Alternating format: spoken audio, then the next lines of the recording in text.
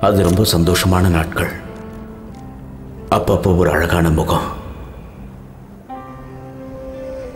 என்னையே அறியாம என் கேமரால பதிவாச்சு.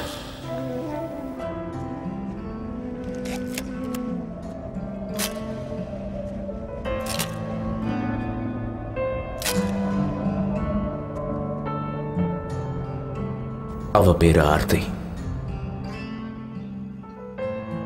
அவ எதுக்காக தனிமையை விரும்புறான்னு எனக்கு தெரியாது.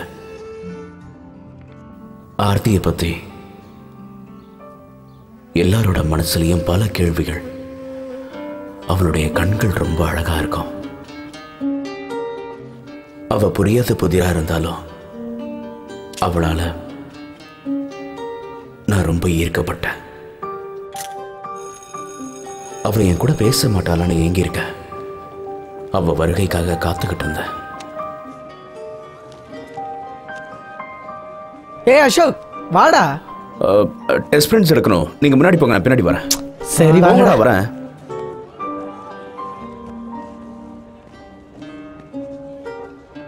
நான் அவளுக்கு தெரியாம அவள் எடுத்த போட்டோஸ்லாம் அவளை சந்திக்க எனக்கு ஒரு சந்தர்ப்பத்தை ஏற்படுத்துச்சு. என் வாழ்க்கையை அவகிட்ட ஒப்படைக்கணும்னு நினைச்சேன். எங்க ரெண்டு பேருக்கு உண்டான நெருக்கம் மூச்சு காத்து படுற தூரத்துல தான் இருந்தது.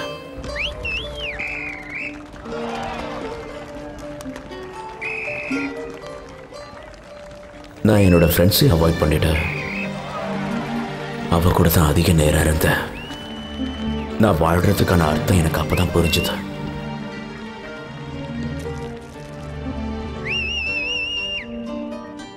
எங்க ரெண்டு பேருக்குள்ள நட்பு எப்போ காதலா மாறிச்சுன்னு எங்களுக்கே தெரியாது.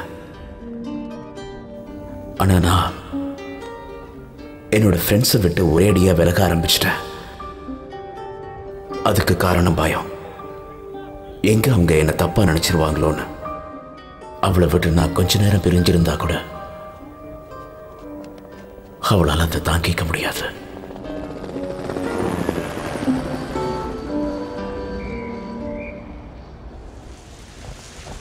எந்த அளவுக்கு நான் அவன் மேல அன்பா இருந்தனோ அதை விட அதிகமாக அவ என் மேல அன்பு கட்டினா என்னை பொறுத்த வரைக்கும்.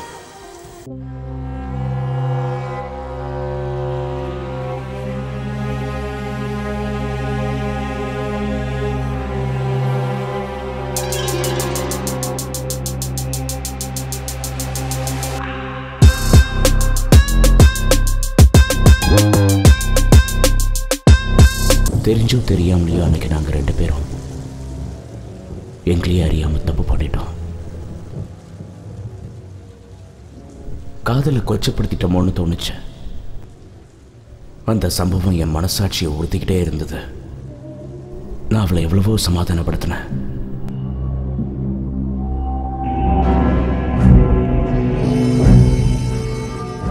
உடனே கல்யாணம் பண்ணிக்கலான்னு வற்புறுத்தினா ஆனா நான் அதுக்கு சம்மதிக்கலை.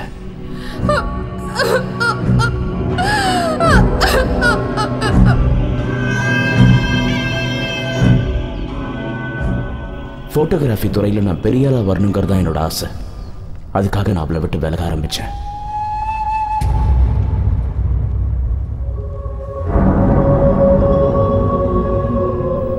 கல்யாணங்கிற வட்டத்தில் சிக்கிட்டா என்னால் எதையுமே சாதிக்க முடியாதுன்னு நினச்சேன்.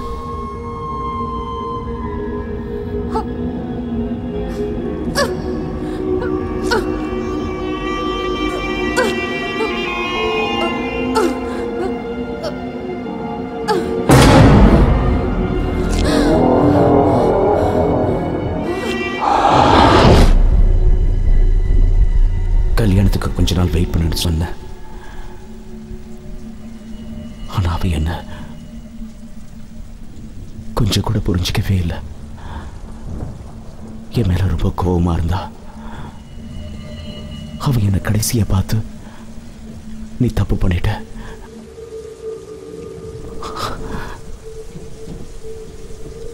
அதுக்கு கண்டிப்பா அனுபவிப்பேன்னு சொன்னா.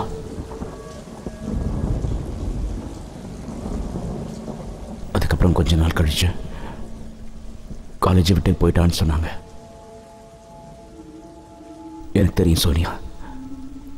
இது எல்லாத்தையுமே உன்கிட்ட முன்னாடியே சொல்லியிருக்கணும். பட் ரஸ்மை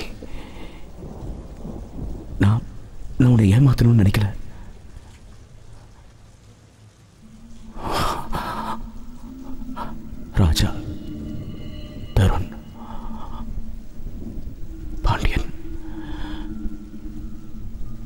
செத்து போயிட்டாங்க.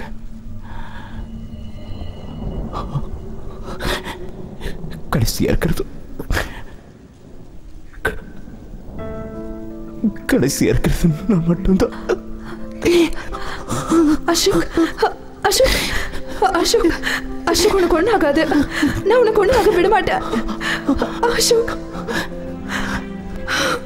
மன்னிச்சு சோனியா? நம்ம ஆர்த்தியை பற்றி தெரிஞ்சுக்கலாம்.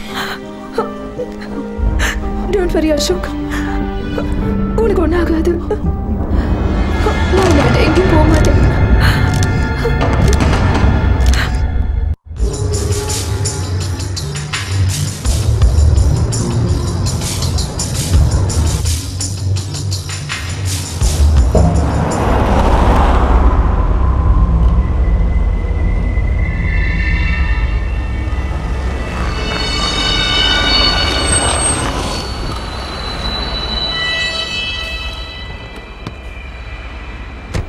நான் போய் ஸ்நாக்ஸ் வாங்கிட்டு வரேன். டேங்க் ஃபில் பண்ணுங்க.